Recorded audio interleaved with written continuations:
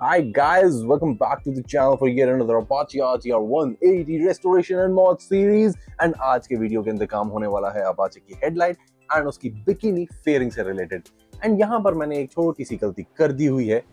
मैंने ये आइटम तो ब्रांड न्यू ले लिया बट अनफॉर्चुनेटली मैं ये वाली नहीं लेकर आया। मुझे लगा ये ठीक होगी बट हाँ इसमें कुछ स्क्रैचेस दिख रहे हैं। शायद पॉलिशिंग से या थोड़ी सी क्लीनिंग से वो ठीक हो जाए। एंड हेडलाइट में यही यूज़ करने वाला हूँ क्योंकि ठीक है ज़्यादा टाइम है नहीं तो खर्चे को भी ना कंट्रोल करके रखेंगे। एंड गाइस अगर आप ये मॉड सीरीज़ का कोई पहला ही वीडियो देख रहे हो तो आप एक बार टाइटल में देखो काफ़ी बड़ा आपको एपिसोड नंबर दिखेगा। तो स्टार्टिंग से देखो बहुत कुछ हो चुका है। एंड अब मोटा मोटा असेंबलिंग का काम बाकी है एंड क्या क्या हो रहा है। सो so, इस पर्टिकुलर वीडियो में मैं एक्चुअली सोची थी कि दो चीज़ें करूँगा।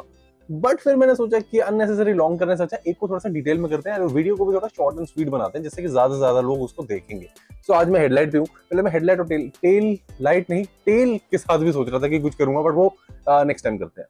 सो so, आज क्या होने वाला है मैं आपको बता दूँ। इसको रखते हैं साइड में।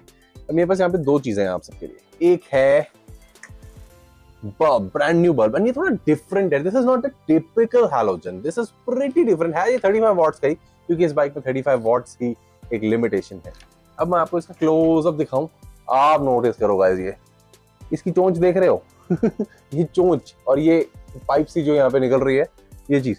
ये बहुत डिफरेंट है। इसके जो फिलामेंट्स है, दोनों के दोनों फिलामेंट शायद आपको दिख रहे होंगे। एक ही जगह पे साइड टू साइड है। तो बहुत ही different kind of light generate करती है। मैंने एक्चुअली जब बाइक नहीं ली थी ना, मेरे फ्रेंड ने, मेरे काफ़ी अच्छे फ्रेंड ने एक्चुअली मुझे एक इस टाइप का बल्ब दिया था। वो तो बड़ा केसिंग वेसिंग में था, ये तो खैर ऐसी है। आई डोंट नो सेम है या नहीं बट दिखता डेफिनेटली सेम है ऐसे ही दिखता था वो सो so, मुझे ये देखना है उसकी लाइट बहुत प्यारी आती थी इस इस रिफ्लेक्टर के साथ इस शेप के रिफ्लेक्टर के साथ वो लाइट बहुत प्यारी आती थी so that's why I searched and actually bought two of these क्योंकि एक मिल नहीं रहा था दो लेने पड़ गए एंड दूसरी एक आपको चीज़ दिखाता हूँ There we go, guys. Check this out. Check this out. Check this baby out. Not the original, but pretty close. हाँ अब आप सोच रहे होगे कि ये तो यार बिल्कुल मेरा ठीक लग रहा है, कहीं से टूटा टाटा भी नहीं है तो मैंने इसको क्यों लिया है अब गाइस इसका लेने का रीजन ना, इसके बैक साइड पे है, वो मैं आपको दिखाता हूँ, उसको पहले यहाँ रखते हैं।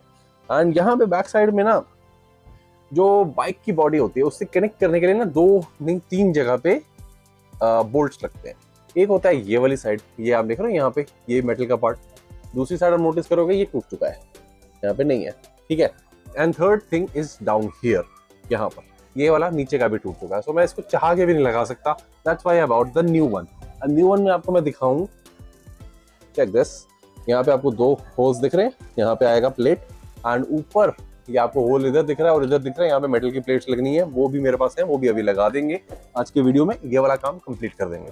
तो मेरे पास है यहाँ पर स्क्रू का सेट स्क्रू का सेट नहीं। स्क्रू ड्राइवर का सेट है बढ़िया। काफ़ी बढ़िया है वाला। सो so, हेडलाइट को इसमें से उतार लेते हैं, ये फ्रंट फेयरिंग को भी इसमें से उतार लेते हैं एंड उसको फिर लगाने की कोशिश करते हैं उस वाले के अंदर which not gonna take you know long time क्योंकि हेडलाइट जुड़ी है चार वोल्ट से मैं आपको दिखाऊँ एक बारी। ओके अब नोटिस करो दिस वन एक ये है, एक इस साइड पे है ये वाला देन आपको ऊपर देखने को मिलेंगे एक ये this one and this one for ये है हेडलाइट के लिए। देन आपको ये स्क्रू ये स्क्रू और इधर भी ऐसे ये दो स्क्रू ये दिख रहे हैं। ये है फ्रंट टॉप पार्ट के लिए ये सेपरेट हो जाता है। तो बस यही खोलने हैं एंड होपफुली uh, अपना काम बढ़िया तरीके से हो जाए। Let's try the headlight first and फिर देखते हैं। एक पेज तो बहुत ही आराम से खुल गया। There we go guys this is the first one and diagonally चलते हैं। सो so इस साइड पे देखते हैं क्या सीन है।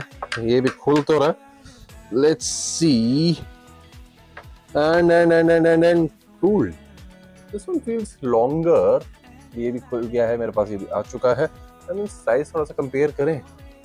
आ, नहीं सेम साइज़ के हैं दोनों के दोनों सेम साइज़ के हैं ये। तो ऊपर नीचे लग सकते हैं उसमें कोई प्रॉब्लम नहीं है। ये वाला थोड़ा सा तंग कर रहा है मुझे थोड़ा सा। क्यों कर रहा है ये तो यही जाने बट कोशिश है कि स्ट्रिप ना हो। स्ट्रिप हो जाएगा ना फिर दिक्कत आ जाएगी भाई। और ये भी बाहर आ गया। एंड अब इसकी बारी। This is the final one for the headlight and उसके बाद हेडलाइट अलग हो जाएगी। आ गया भैया स्क्रू भी साथ ही आ गया स्क्रू ड्राइवर भी। ये आ गए चारों के चारों। सो so, अब इसको रखते हैं जरा साइड में। एंड अभी हेडलाइट को ऐसे उठाया हेडलाइट बाहर आ गई।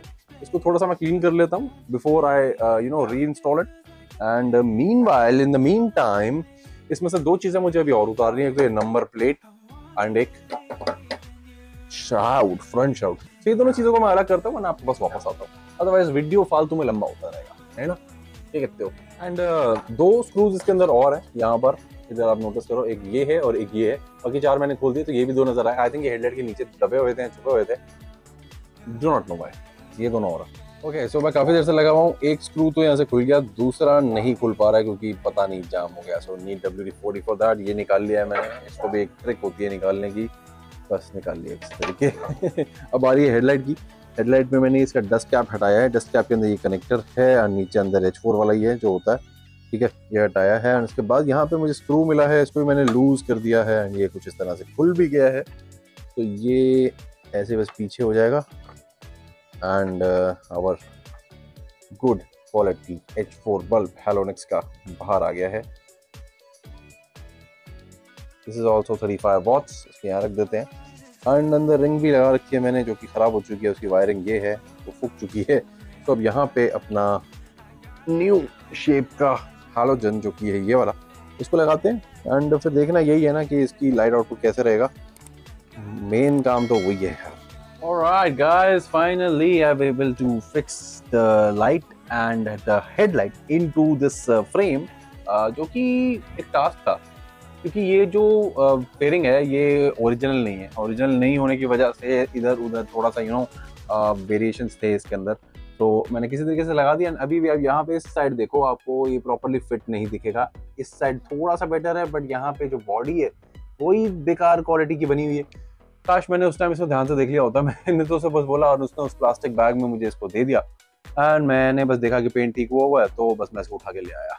ये गलती डेफिनेटली है मेरी साइड पे। एंड ये टॉप पार्ट में वैसे नहीं लाया था तो ये जो है वो ये है। ठीक है चलो कोई बात नहीं। एंड लाइट uh, अगर आप देखो ये कुछ इस तरह की दिख रही है यहाँ पे। चला के मैं इसको देखना चाहता हूँ बट यहाँ पे पॉसिबिलिटी होने नहीं वाली है।